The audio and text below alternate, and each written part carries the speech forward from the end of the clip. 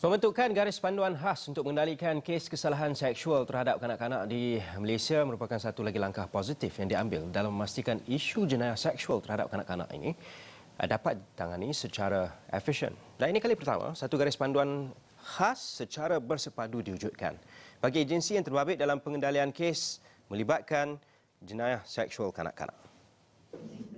Garis panduan khas ini diharapkan dapat membantu pihak-pihak yang terlibat mendapatkan maklumat berkaitan pengendalian kes jenayah seksual kanak-kanak serta meletakkan keutamaan dan pelindungan terbaik kanak-kanak. Kanak-kanak selaku mangsa penderaan seksual sering mengalami trauma sebagai salah satu kesan psikologi. Justru itu dengan adanya garis panduan khas ini, ianya sedikit sebanyak dapat memberikan kemudahan dan bantuan kepada mangsa kanak-kanak dalam memahami prosedur dan pengendalian kes yang melibatkan jenayah seksual terhadap kanak-kanak. Buku setebal 103 muka surat itu mengandungi empat topik utama meliputi 10 bab yang mana setiap topik diketuai mereka yang pakar dalam bidang masing-masing.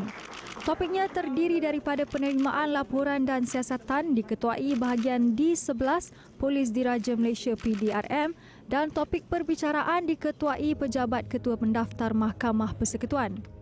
Selain itu, terdapat juga topik pengendalian mangsa atau saksi kanak-kanak.